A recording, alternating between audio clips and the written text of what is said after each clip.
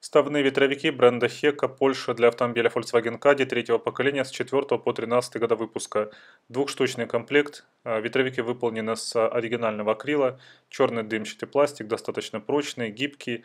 Не выгорает на солнце фактически, не растрескивается на морозе. Ставится под уплотнительную резинку а, без необходимости каких-либо доработок.